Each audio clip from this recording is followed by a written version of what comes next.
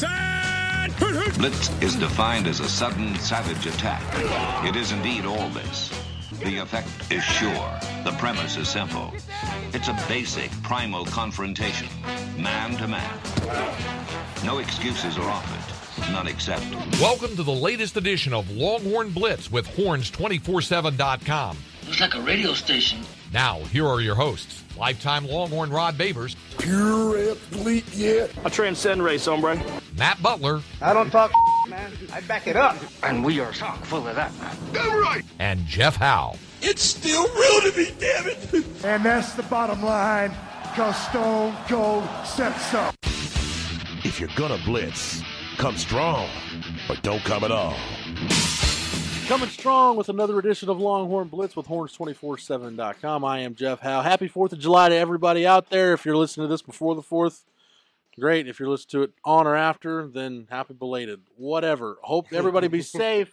Have a great time. Enjoy your family. Enjoy America. All that fun stuff. So, uh, with that in mind, let's uh, let's go ahead and get on with the show. Let me bring in the rest of the team. He's the master of the soundboard, the drop machine extraordinaire, Matt Butler. Matt, uh, we're going to talk about today something that's near and dear to your heart that you kind of configured a few years ago. We're going to be talking a lot about bust rates. Yes, I walked in and Jeff was just spouting numbers. Him and Travis, they were going and breaking them down, and I looked into some of the old ones. But Jeff updated all the bust rate numbers going all the way back to, I guess, the 2014 class. Uh, 2014, we're not quite done, but I think we're we're done with bust rates and, and things of that nature for that class. So I think from that standpoint, we're we're good.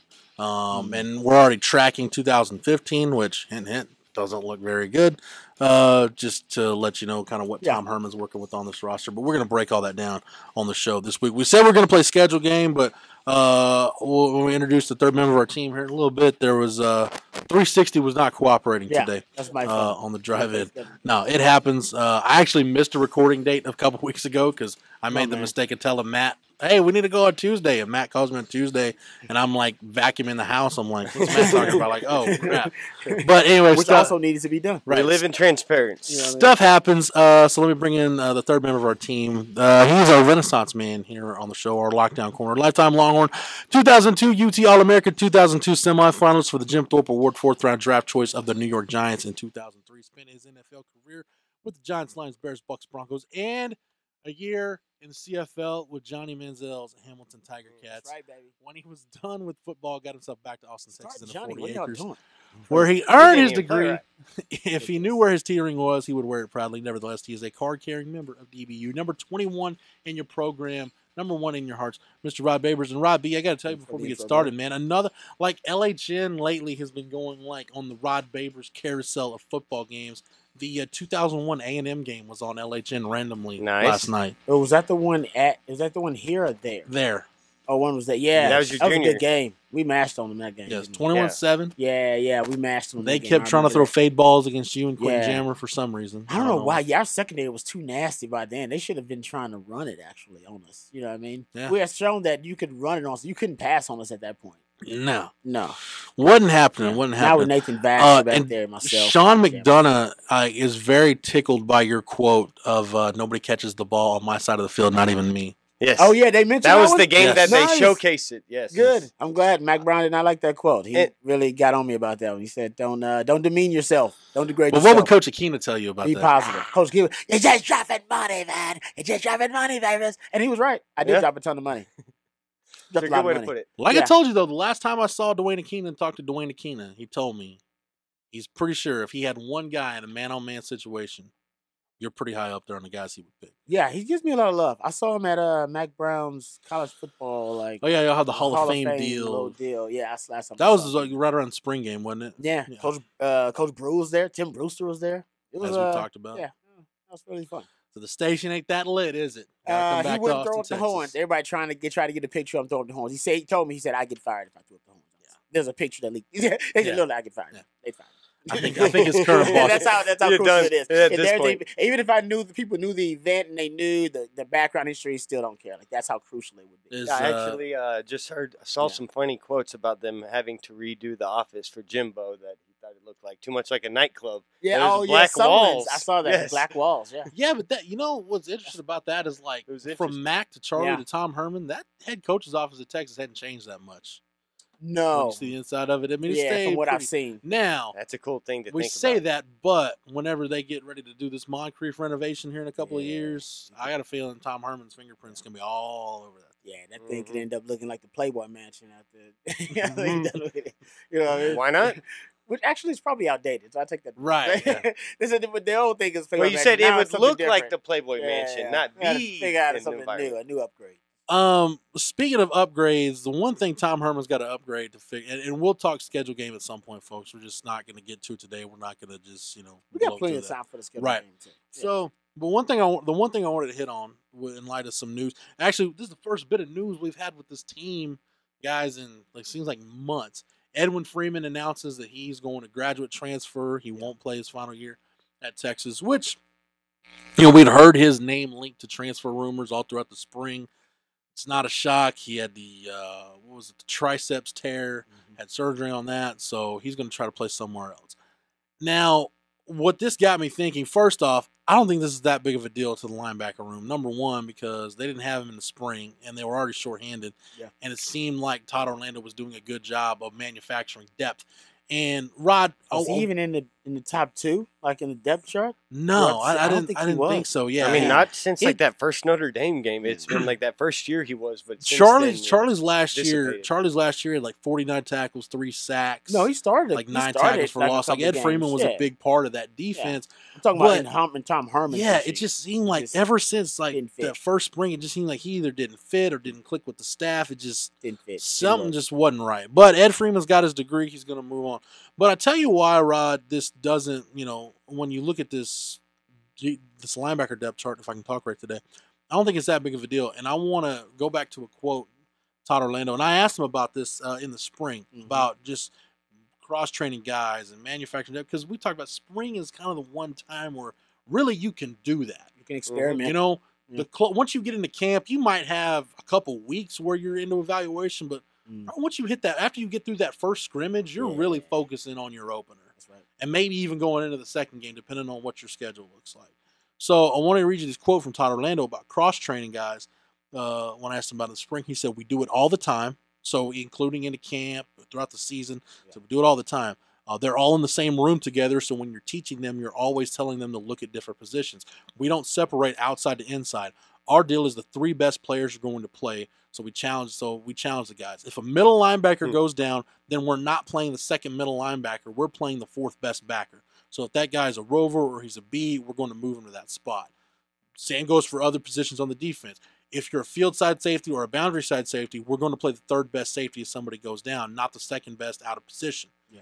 It's That- all across the board and it helps with depth because you don't want to put a guy in just to put a guy in. You want to put your best athletes and then do our job as a coach and get them right. I love it. Like that's literally you don't. It, it seems simple, but like you don't hear that that often with coaches. Like that's positionless football, and like you hear about that in other sports. But having the ability to have not only players that can adapt and do that, it shows that their football IQ is going to be fit into what they're doing, and then to know that physically that you have the skill set to be able to do that.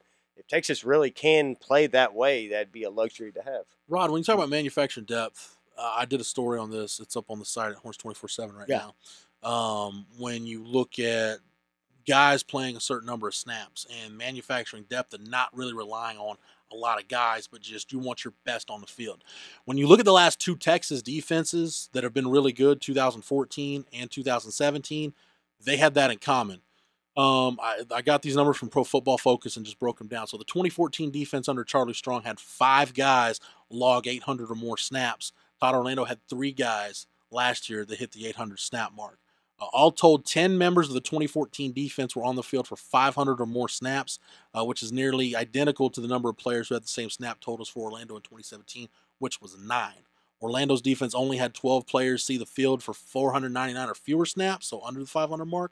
13 on that first Charlie Strong defense did the same. So you're looking at playing basically your best guys and then maybe a couple backups, but you're really just I would love to see the numbers for the next year when they had the drop off. Okay. Yeah, I'm glad you There you brought that up. Okay, yeah. I will just read straight from my article. The 2015 defense had nine players see time on the field to the tune of five, more than 500 snaps, so Okay. 500 plus Not too territory. much of a drop off. But a staggering 25 players played fewer than 500 snaps. Five guys were between four and 500. Seven guys were in between three and 400 snaps. And I'd be going- interested to see uh, those three to four hundred guys. Normally, Yeah. unless you're a specialist, those are the type of guys that we end up talking about. That like you lose your job or the So they didn't lose the front line guys. You still had your guys that kind of The were depth. your you, you your core of what you built around, but you lost the depth. Yeah, Your depth later was on, on terrible. that. Yeah, And that'll Uh, mean your special teams is probably worse because those are those guys that are young and developing. Your depth wasn't that good for 2016 either. The 2016 defense didn't utilize that many bodies with nine members in the 500 plus snap club, but 19 different guys were among those who recorded 500 or fewer snaps. You had four in the four to 500 range, two in the three to 400 range, and six guys in the 200 to 300 range in terms of the number of snaps they played. So, which would explain the cycle of the Vance Bedford Manny Diaz, or at least I would say explain it. It it further explains the Mhm. cycle Right. of those first year guys because they had a lot of depth and a lot of talented, experienced depth, and they lost a lot of that experience. Still had still had some you know some talent, but they lost a lot of the experience depth, and then it ended up hurting them. Um, so I wonder. I mean, that's what that's the Todd Orlando's challenge is this year No, perfect to avoid the cycle. He's got to somehow find a way to build the depth. Now at the front line, the front line, you're good. We all agree. Yeah. The Hagers, the Omenihus, the the Gary Johnsons, the like Chris the Mac Boyd, Brown the Davante years. Davis, the Brandon Jones. We agree at the front line, you're just like you was probably in 2015 and probably going back to 2012 where go look at those defenses. You got NFL first round picks and, and draft picks on Talents, those yep. defenses. Uh, but you lost the depth at the at the lower end of your depth chart, and that's what Todd Orlando's got to do to to generate that or to build it. Now, what he's got and what Texas had then too. I mean, he's got a good recruiting class behind it too to help build that depth. You know what I mean? Well, and you look at the big. I mean, all of last year, the big plays that really killed Texas. It wasn't as if you know you were horrible for 75 of the 90 snaps. You were pretty damn good. It's just like we were just talking about when you have those few players, you lack depth. You have a few holes. Uh, only a few snaps have to go wrong, and you can easily lose a football game that quick with just a couple scores. So, Rod, I'm glad you brought up recruiting because that's where I wanted to take this this week. Now, we're not going to talk recruiting in terms of who's doing what or the Chris Adamora commitment or anything like that. You want that? Uh, go get with Mike Roach and EJ Holland on no interviews, please. Uh, support those guys in the podcast. They do, which is kind of the recruiting arm of what we do at Horns 24 7. I kind of, it is. I don't know why I threw that in there. But I want to look at bust rates, Rod. And we, we've talked about bust rates. And, and like Matt said, you can see my notepad. I went through my beautiful mind, Russell Crowe stuff. Yeah, There man, you I go. got it all the time. Uh, we got I papers to thinking, everywhere. The Ed Freeman news got me thinking, well, how did the 2014 class do? And the answer is not, not very good.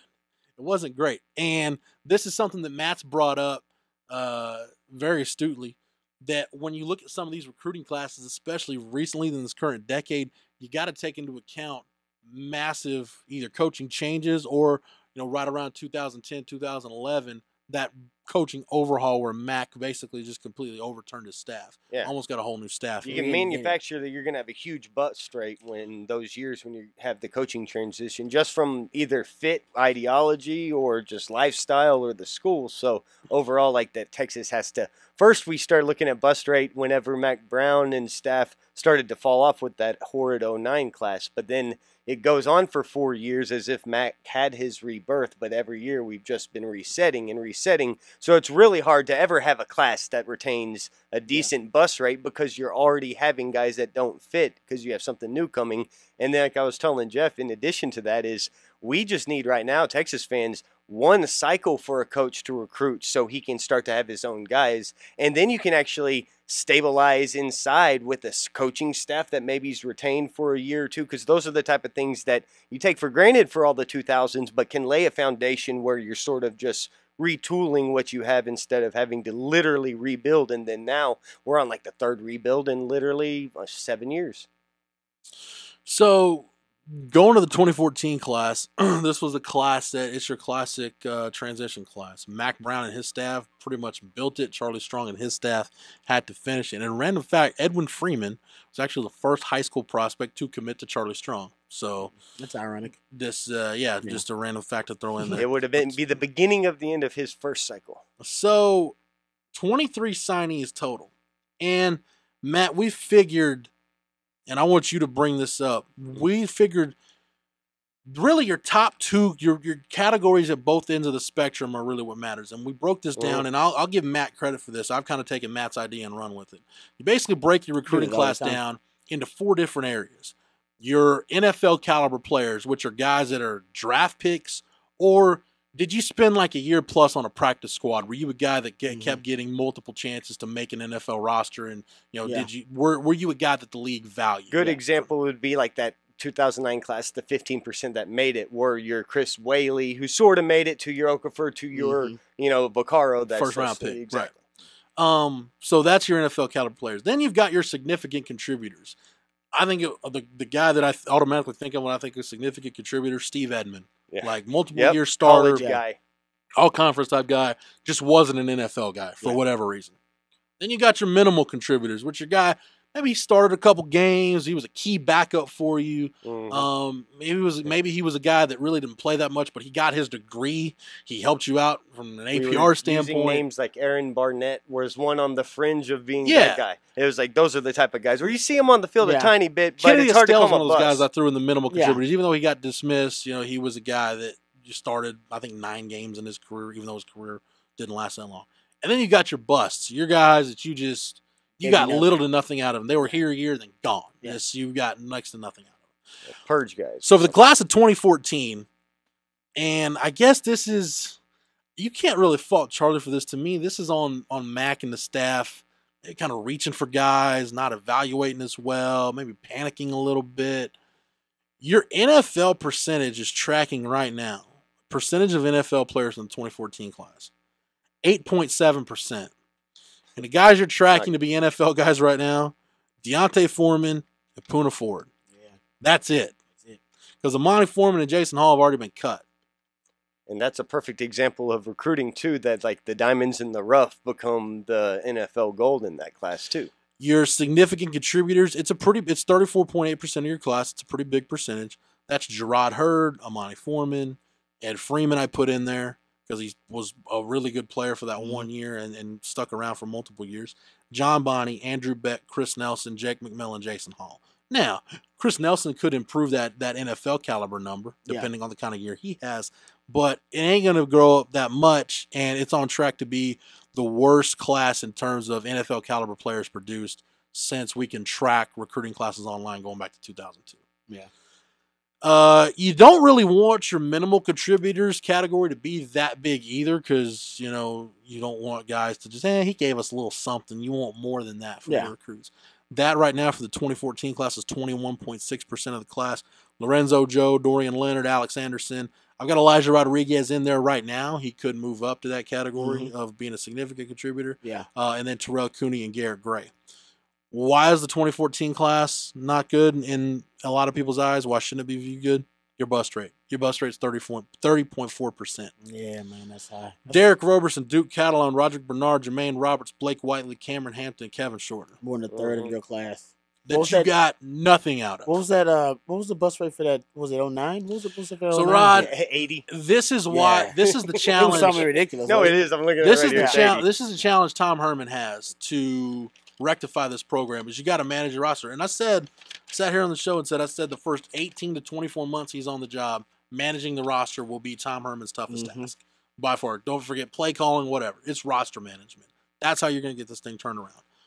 I just want to give everybody kind of a history lesson of what you're dealing with with these classes. Now, when you start, when you look at the early part of the decade, when we can start tracking recruiting classes, you'll notice the NFL caliber players produced, you're above 30% in most of those years. Yeah. 2002, 30.8, 2003, 36.8, 2004, 26.3, not great. But then 2005, 46.7% of your recruiting class Mhm. were Yeah. NFL caliber players. In 2006, you're down to 16, but then in 2007, 37.5. In 2008, you're 30. That's your Yeah. Manny Achos, your Blake Gideons, Mhm. your Aaron Williams, your Fozzie Whitakers, your Earl Thomases, Mhm. guys that were really kind of the the core of that 2009 national Yeah. championship. Anytime you had a team that dip, for you national made up title. for it with a spike. Yeah, and anytime much. you had basically 30% NFL success, like that's the number. Right, Because you yeah. look those 02 to 05 classes and that even that 08 one.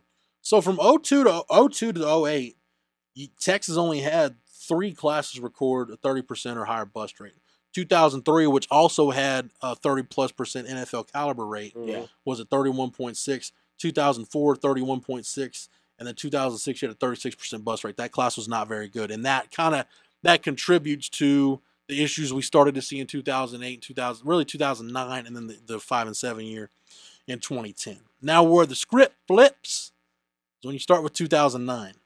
Here's your bust rate for the starting with the class of 2009. 2009, Mm. 50% bust rate, which means there were half, of- it's 20 signees, half a recruiting class you got nothing, out of. Yeah. Yeah. Zero. And then Wasted scholarship. eighty percent, I guess, is the bottom two bottom contributors. Yeah, well, I've got I've got it at 70% Yeah. For the class of 2009. Okay. That well, I'll take that back. It's Was seventy five percent Yeah. Bus or bust or minimal, minimal contributors. contributors, yeah. Yes, That's pretty big. Yeah, and that was this is because I was very biased back in like 2011. I still called Gary Gilbert a bust And because I'm- he transferred out of Texas. I actually even put- though he wasn't a bust, Yeah, but it was an a odd bust. one. I it actually was a put- weird one to put on it. I actually put Garrett Gilbert Yeah. in the significant contributor category. Yeah, Yeah, see, okay. and if- that's if you the difference in our numbers. If you like, started a year quarterback in Texas, then to me, Yeah, I agree you are right about that. Yeah, I was still jaded at the time. He started more games than most of the quarterbacks we've had since Colts. So yeah. Class of 2010, 34.8% bust rate. Darius White, Chris Jones, Taylor Bible, uh, Adrian White, uh, Aaron Benson, Connor Wood, Traylon Shead, Darius Cotton. yeah, Yep. Now, 2011, it's only a 13.1% bust rate, but your minimal contributor category is 30.4%. It's about half Yeah, when you add them up. that's not very now, but I mean, you had a 21.7% NFL hit rate in this class. That's Malcolm Brown, Quandre Diggs, Jaxon Shipley, Cedric Reed, uh, Mykkele Thompson, and then That was the core of that team. Thirty-four point eight percent uh, significant contributors: Steve Edmond, Desmond Jackson, Sedrick Flowers, Sherrod Evans, Josh Cochran, David Ash. That's the Man, Mack that's Brown hanging good on the of thread. Significant contributors too. Yeah, That was the end of the Mack Brown, like him Yeah. having little Quandre, little Shipley coming in. Then you get a top first round pick in Malcolm Brown. Like that was So the hope. again, again, 2012, your bust rate's pretty low, 17.9 percent. But your highest category is your minimal contributors, which is 39.2 percent of your freaking Yeah. class. You got hardly anything out of, or not as much as you should have. Kennedy Estelle, Kendall Sanders, Cameron Hughes, Adrian Colbert, Bryson Echols, Tim Cole, Brandon Moore, Nick Jordan, Dalton Santos, Kevin Vaccaro. Guys, for the most part, were victims of the Charlie Strong purge Mm-hmm. that got themselves booted out of the program. Yep. So Dalton really, you weren't able to completely overcome that first wave of just just disastrous recruiting classes. And even the like the 2010 class, even the guys that you did have who were, you know, contributors, man, a lot of those guys ended up just getting hurt and some of them at the most inopportune time. Like everybody talks about David Ash in that 2014 season. How Mhm. different is that season if Dom Espinosa doesn't get hurt? Yeah, in the both of them game? at the very yeah, both of them going down early. You know? Yeah, And you still got, you know, Case McCoy. People can say what they want about Case McCoy. He beat A and M in the last game, and he beat oh he won his last game against Oklahoma. Um, He's a key contributor. John, I Yeah. have him in significant contributors. Yeah, yeah, so yeah, your NFL, yeah. your NFL guys, but Rod, Rod, think about how many of these guys had injuries. Your NFL guys and your significant contributors from 2010: Jackson Jeffcoat, Jordan Hicks, Trey Hopkins, Carrington Byndom, Adrian Phillips, Mike Davis, Dom Espinosa, John Harris, Case McCoy. Like more than half of those guys had a End up- significant injury at one At point. one point during the season, Yeah, they I weren't agree. maximized well at Texas except for maybe Case McCoy. The other ones that. were all injured. So the question is, how much of this, uh, the this inability to maximize this talent, how Mhm. much of it is on the coaching staff? How much of it was on the culture? You know, what I mean, I think a lot of bad staff- roster management. I think some of I think some of it with this All right of the here, I think I think it was lazy evaluations in recruiting. I Most think of it's for, on the for coaches. 2009-10, those guys that were busts. yeah. Yeah, I think that a lot of that's on the coaches. Now, some of the other That's stuff why though, we're entering a tough world now. why 'cause you've throw got all guys in that stuff in why you've got guys in that minimal contributor category. I think a lot of that goes back to player development. And keep in mind, Rod, starting with that 2011 season, that was the Bennie Wylie, Jeff Madden deal that didn't work I for remember anybody. that. Yeah, It didn't work for anybody. that experiment too. Well, about the strength and there were conditioning program. injuries uh, very plentiful then too. so your first chance to recover, really recover, you you could have recovered with 2000, it's the 2013 class. 13. Your bust rate for 2013, 40 I was percent. gonna say, yeah, you thought it was a chance. That's the recover. last No. Mack class. And your and your yeah, and your minimal contributors for that group, 26.7 percent of your class. That's Darius James, Jake Raulerson, Jake Oliver, Jacorey Warrick. Mhm. Yeah, Uh, I, I honestly, yeah, that's yeah, that's that's brutal. and- that's, And then you're hitting this tough, tra- and then you're to get coaching You've got change, to- coaching change. You've got a twenty percent. You've got a twenty percent NFL hit rate. But who are the three guys? Geoff Swaim, who didn't hardly play, and wasn't used nearly probably like he should have been while he was here. Kent Perkins, who's a guard, you can only have so much impact as a guard. Yeah.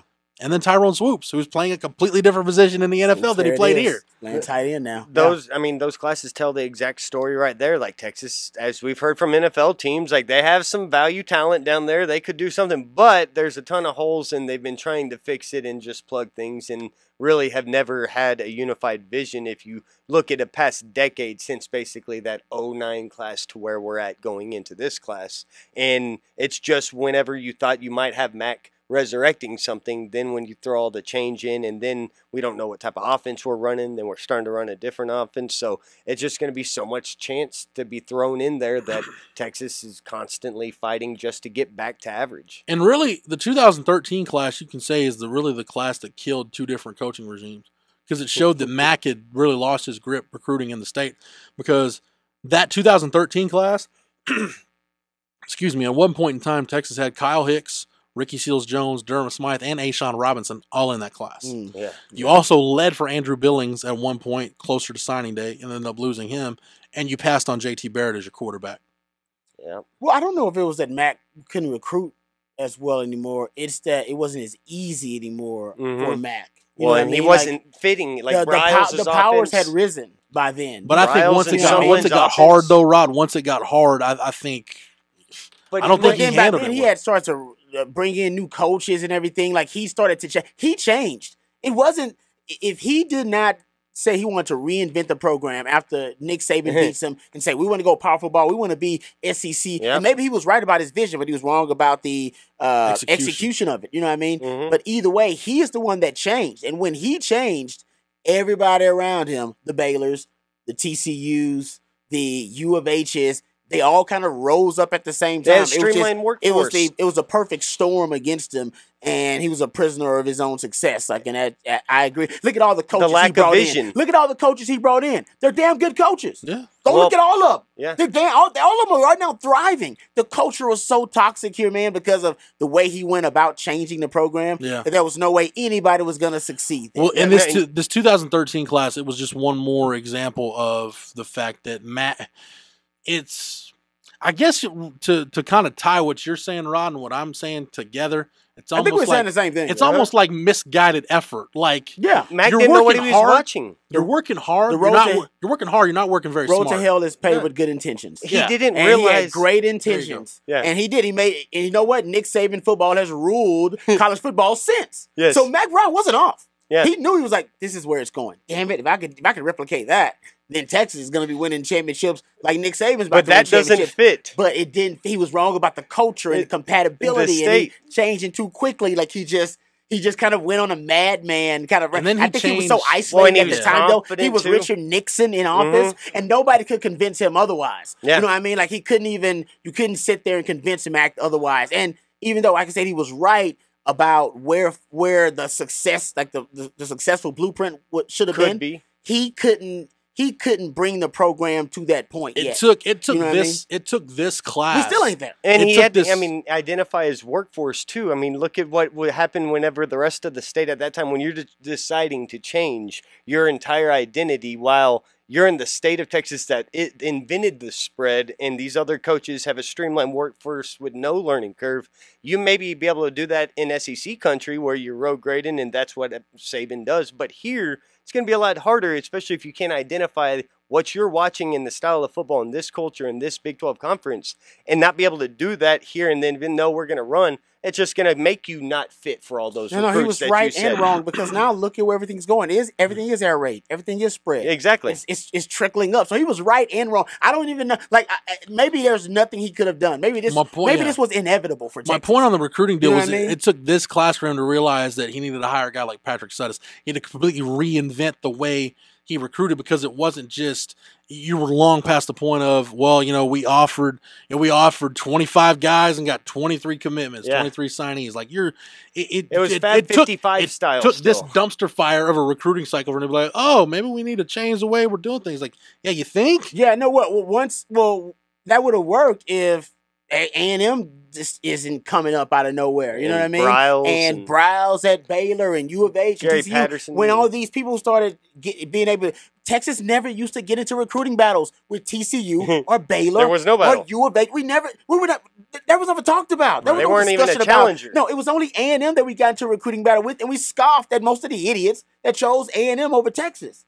But it all changed when Matt Brown reinvented the program. Texas got into legitimate recruiting battles with Baylor and TCU and all this, and I was like, man, the game has changed. You know what I mean? Like he used to rule this this state with an iron fist, and he he lost that stranglehold on the state. And when he did, I think he his recruiting pitch when he had the stranglehold was perfect. Hey, we offering with Texas, you better come or you don't. You're gonna get left out. Hell yeah, you better get on that. You better get on that bandwagon. But when you are when you are not the monopoly in the Right. state, when you are not the most successful program in the state, that pitch don't work. Right. That pitch don't work, and that pitch wasn't working. You had to change the pitch. So the 2013 class kind of exemplified the struggles Mack Brown was having towards the end of his tenure, and with that class bottoming out and so many busts in that class, guys that a lot of those guys think about this. I mean, all those guys left during within Charlie's like by the start, really the start of his second year. DeAndre Davis, Rami Hamad, Desmond Harrison, Chevoski Collins, Eric Kuhn, Montrell Meander, Darius James, Jake Raulerson. Like all those guys were gone pretty much by the time Charlie's second year started. I think Raulerson was I still there forgot about half the those second guys. year. Yeah, I know those Um, names are like yeah. Montrell we just- oh, Meander. man, I forgot about Yeah. forgot about Lanky Montrell. Yeah, Um. Yeah. So that class not only showed the issues Mack Brown had, it gutted Charlie Strong's roster in Mm. terms of having veteran a veteran presence. Purge, baby. And then you go to 2014, and then look at the high bust rate for that class. So now you're taking another veteran group away from Charlie Strong. So you figure, okay, 2015 is the year he's going to reload. And so far, 15 saving him. your your your. NFL your NFL Yeah. rates tracking pretty good right now. Malik Jefferson, Yeah, Connor Williams, Chris 2015 Warren, might be the turnaround Hill, year, actually. Sean Elliott, Michael Dickson, but 30% bust rate for 2015. Ryan Newsome, DeAndre McNeal, Kyle Loxley, Cecil Cherry, Devonaire Clarington, Devontae Lampkin, Gilbert Johnson, Buck Major, Matthew Merrick. I'll say what I like. What I like about the bus rate, but what is uh, promising about that bus rate? It's guys who honestly, some of you never stepped on campus. right. I mean, it literally was just they got offered a scholarship, and some didn't work out, and most of them either they stepped on campus, didn't work, like they never stepped on the field or within the program. So it's not it's, it's a bust, yes, in terms of the scholarship number, but they didn't the the, pre, the program didn't fail them like it did a lot of the other guys in this period we're talking about when Max reinvented And if program. it stays exactly where it's at, that'll end up not being bad because we were talking about if you are because this is going to be the first one that That's has to endure a coaching change. yeah. And we were just remarking earlier, like trying to think of a place where you could maybe see a bust rate that didn't go down with the coaching change. Like if, say, when Urban took over Ohio State, or a few situations where you see immediate success in year one. I bet those correlate together. And if Texas State at 30 and nobody had no other busts out of that class, that would be pretty good considering some of those you got to factor in, or just with the coaching change, going to be gone. And, and when you look at Tom Herman managing the roster of those guys with that 30% bust rate, I mean, how many of those guys were gone by the time Tom Herman got here? Like Ryan Newsome, Yep. DeAndre McNeal, Kyle Loxley, Exactly. Cecil Cherry, like pretty much all those guys except like Buck Major and Matthew Merrick, all those guys were already gone by the time Yeah. Tom Even Herman. So Buck you've Major, the. Obama uh, Facebook. guy? No, that's uh, no, you're thinking one. of Buck Burnett. Buck Burnett. I knew That- Buck from sorry. Wimberley, Yeah. so I was like, the yeah, yeah. Texan. My bad. Wimberley, yeah. Texas. My bad. Buck, But man. you know that, that 2000 He's in that 06 bus class. that 2015 class could end up looking a lot like go back to 2003 where you had like almost a 40% NFL hit rate but you had a 30 plus percent bust rate for the same class. yeah. Yeah. It- there's just so much damn talent in this class cuz like look at the guys in the significant attributors category, Rod, and, and how you tell me how many of these guys you think have a legit shot to make an NFL roster.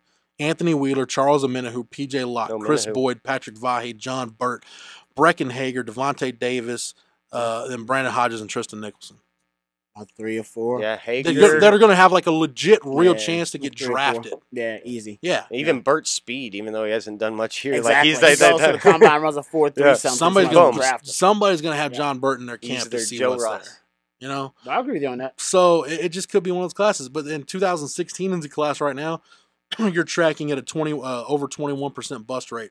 Eric Fowler, Jean Delance, Jordan Elliott, Chris Daniels, Marcel Southall, Peyton Oakland. Those are guys So, that were gone when Tom Herman got here, like Mm. the first spring or by the first season or whatever. Yeah. So Uh, but I mean, when you let me pull up the 2016 class, And then the quick. 2015 class, you only had two guys that have transferred out since Herman. So when you look at the Herman factor, it hasn't been as much now. Maybe some guys left to the be? I guess Brandon Hodges is a grad transfer. Yep. And who would the other one be? I'm not sure. You had just ran it off at the bottom two names there. in the DeAndre was 2015. DeAndre McNeal a Herman transfer? Nope, there was No. somebody after him. right? Matthew Merrick, I guess. There you go. Matthew yeah, Merrick, yeah. the gray shirt or whatever. So let me pull up 2016 real quick while we got a couple more minutes. Now that's tracking at a pretty high bust rate, but look at the guys still on the roster. The third year is key. How many Yeah. of these guys have a chance to contribute? Devin Duvernay, Brandon Jones, Patrick Hudson, Jeffrey McCulloch, Shane Buechele, who I think would probably stay in the significant he's, yeah, I was gonna contributor say he's category. already there. Yeah. Collin Johnson, Andrew Fitzgerald, JP Urquidez, Kyle Porter, Denzel Okafor, Eric Cuffey, DeAndre Christmas, uh, Lil Jordan Humphrey, Oh, Chris man, Brown, DeMarco Boyd, Malcolm Roach.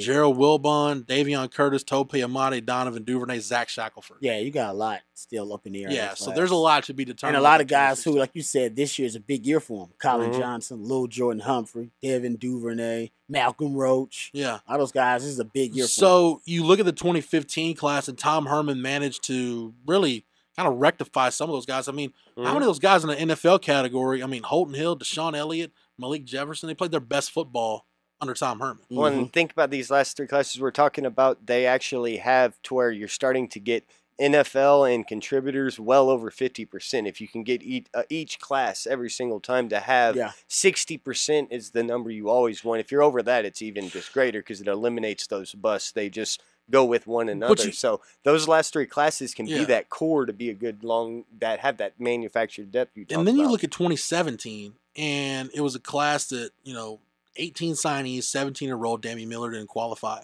but I'm gonna run down the list of signees. Like you think about this was the transition class that Herman was like, ah, we're just trying to find some guys, Yeah. blah blah blah. the one that was supposed to low, the low, it, It was, was like twenty fifth, twenty fifth, the lowest rated class in the right. modern era. Or I'm just gonna run down these names, and you stop me when you hear somebody that you think has no chance to contribute. Sam Ehlinger, Toneil Carter, Ta'Quon Graham, Gary Johnson, Montrell Estell, Josh Thompson, Reese Leitao, Marquez Bimage, Kobe Boyce, Derek Kerstetter, Danny Young, Jordan Pouncey, Cade Brewer, Sam Cosmi, Max Cummins, Jamari Chisholm, Josh Rowland. And get to the last five. I mean, I mean, other I, I could, I, I could be nitpicking. and name you a guy too. That I think is not the guys yeah, that I'd be- redshirted last year. As I said, I'd be Yeah. very being very nitpicky. But I mean, Yeah. like you're It's- going all the way down, like to like Jamari Chisholm is the second lowest rated player in this class, and he's at least going to be He made some a plays role player for last you on defense. yeah, He was in, in that Oklahoma game making some plays. There, there were 990, according to the 24 7 Sports Composite, there were 996 prospects rated higher than Cade Brewer in the 2017 class. I think Cade Brewer is going to outperform that ranking at some point. oh, career, there's no doubt. I mean, if he hasn't already. I just No. love that nowadays that's how in depth recruiting gets. That we have them actually ranked, and I'm going to bump this guy down from 993 to Like 996 Derek, today. Derek Kerstetter overall in the country is 620. Derek Kerstetter played last year better than a 620th ranked prospect in his class. how much of it could be coaching though too?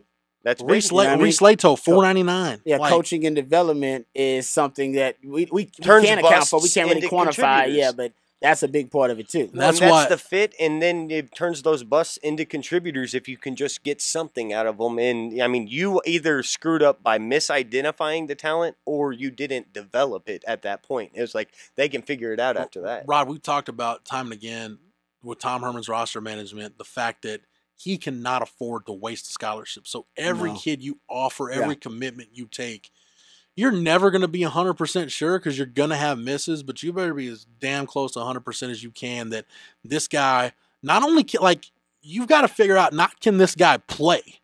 I mean, if you're offering him and he can't play, why the hell are you offering a hmm. guy?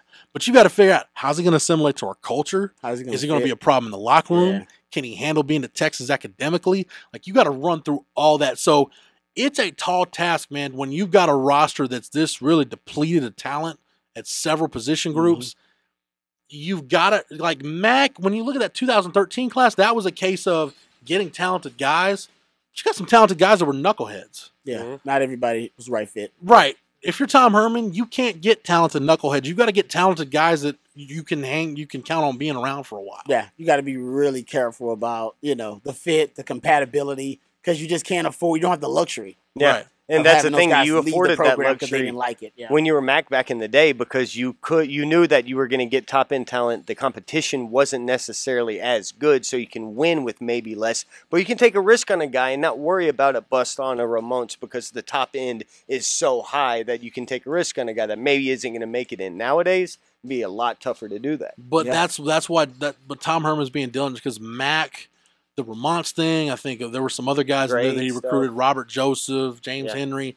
Yeah. Where I think Mack started just like, well, you know, let's just make sure we're getting. Basically, you put the good kid part really equal to or above how good of a player is he, and can we develop him, and is he going to get any better once he's here? And that was a tough predicament. You can see throughout the 06 to 09 classes where Mack was searching for what do we need. He thought, you know, it was still we can offer, we can get it. And he found out some guys weren't necessarily the were hard workers that they were or weren't staying out of trouble. Yeah, you got to figure out the right thing because VY he can regulate a locker room differently than Colt can. Yep. Not saying Yeah. one's better than the other, but they're different styles of leadership. So you Mhm. got to put different players around them, recognizing Knowing your what their leadership qualities are. Right. That's Coach, a big Coach's part. locker room is going to be different than VY's locker room, and I Chris agree. Simms' locker room is different than Major's locker room, which is why we get in quarterback competitions where I can be so divisive. But I You think know what I this, I, think too, Rod. I think this is why Tom Herman, why the Yancy McKnight hire was so big because I think now you're leaning more on coach leadership right now. The player Yeah. leadership, player leadership will take over at some point. It's It got will if to. your coach is right. It's got yeah, it's got coach to. is right, it It's will. got to. But I think for right now, uh, having Yancy McKnight in place, knowing that it, it, the buck stops with Tom Herman, I think everybody in that program knows that. I think that's part of what helps your culture. We can pick up this conversation next week, and we got plenty of time to talk about it. But it's fascinating stuff, It is nonetheless, to look at bust rates and, and how Tom Herman's going to manage this roster after years of hmm. mismanagement hmm. prior to his arrival. Matt, thanks for everything, man. Oh, you're more than welcome. Rob B, appreciate the time and the knowledge. Anytime, brother. For Matt, for Rod, for Travis, the best damn videographer in the podcast game. For everybody at the Austin Radio Network, 1049 The Horn, hornfm.com, AM 1260, worldwide on the Horn app, where you can hear Rod B each and every week from 1 to 3 on the Rodcast. Shameless plug. And thanks to Matt, you get us on Apple Podcasts, Google Play, anywhere you get your podcasts, and always get our archives on the Longhorn Blitz SoundCloud page. Yep, just type in Longhorn Blitz. For the Horn family, for the Horns 24 7 family, I'm Jeff Howe. Thank you so much for downloading and listening, and we will catch you again on the next episode. You've been listening to Longhorn Blitz with horns247.com. Remember, for the latest Longhorn news 24 7, visit horns247.com.